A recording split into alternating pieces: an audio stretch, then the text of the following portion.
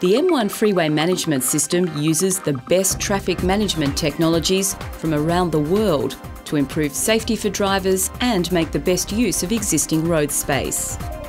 Electronic message signs provide up-to-date information about freeway travel times and conditions.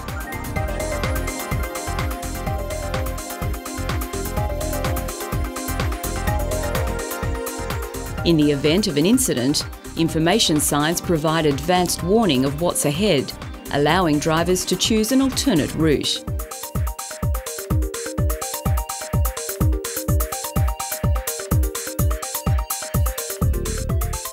Ramp control signs give advance notice that ramp signals are on. If needed, the freeway close sign will be displayed as part of the freeway incident management procedure.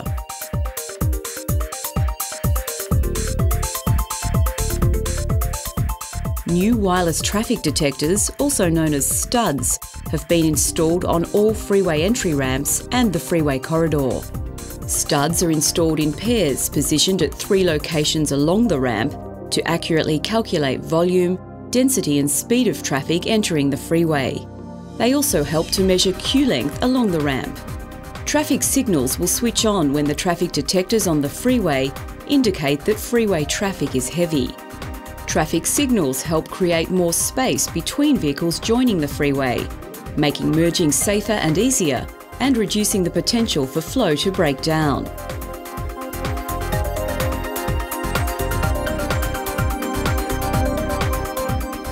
Traffic congestion on the freeway often results from a surge of traffic entering the freeway at any one time. This sudden reduction in speed creates stop start waves, which reduce freeway capacity. This creates delays, causes driver frustration, and increases the risk of crashes. Stop start waves can slow down several kilometres of freeway traffic. It often takes the whole peak cycle for the freeway to recover and for traffic to flow normally again.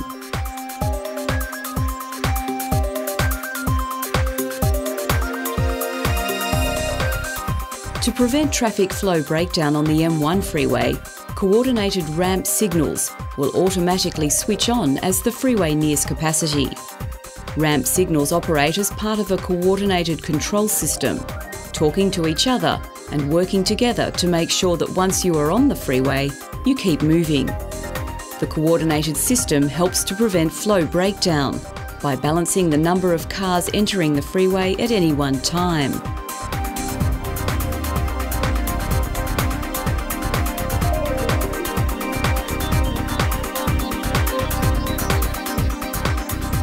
Generally, entry ramps closest to the bottleneck are the most congested.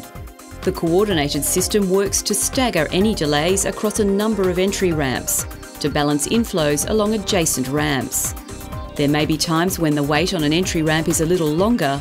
This means the ramp signals are working together to manage traffic flow and prevent flow breakdown further downstream.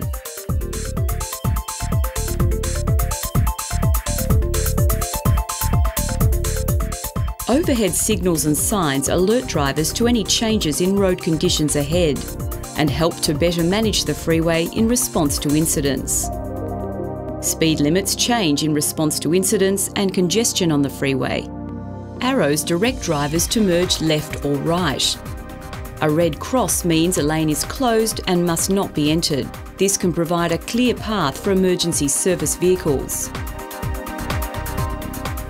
Lane use management signs have been designed for easy maintenance.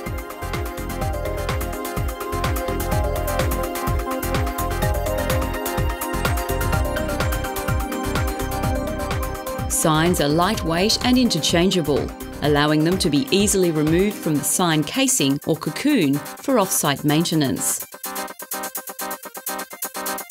The quick and easy installation of signs minimises the impact on the freeway traffic.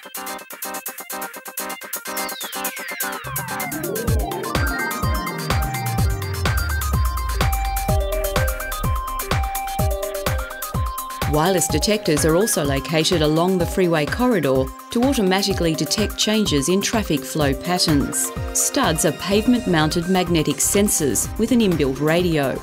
Each stud and its corresponding access point are assigned a radio frequency, where traffic data is processed.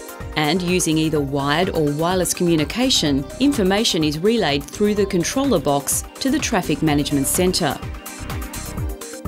Freeway data stations are located at 500 metre intervals along the freeway. Data stations are made up of wireless traffic detectors, an access point and a repeater point.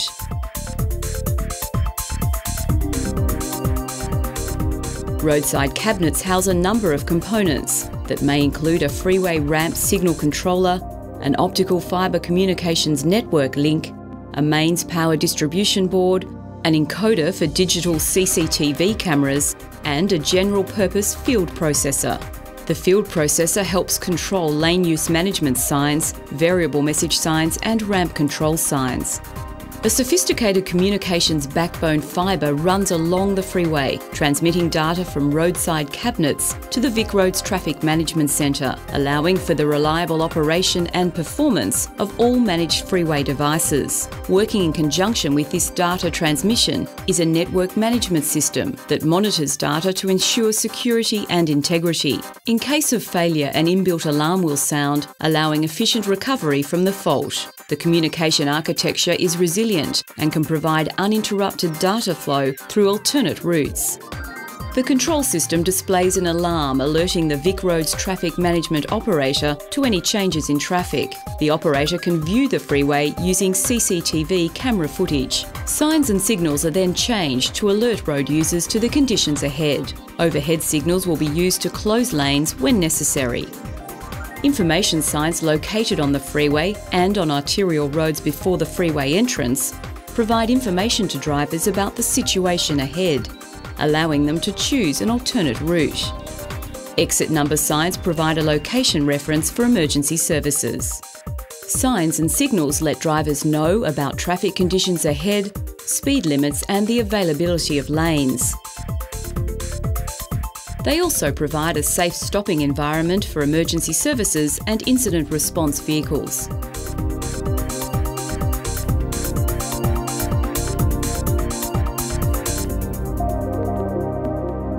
Information signs are also used to close freeway entry ramps to provide clear access to an incident.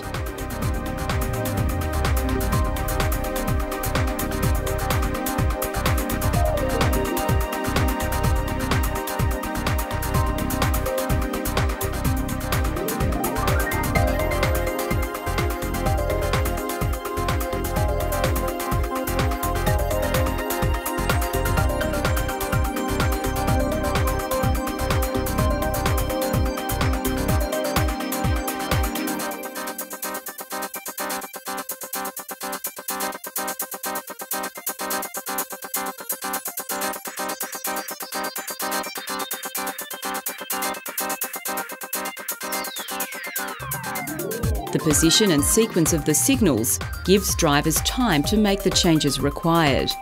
In this example, emergency services have exercised their option to completely close the freeway.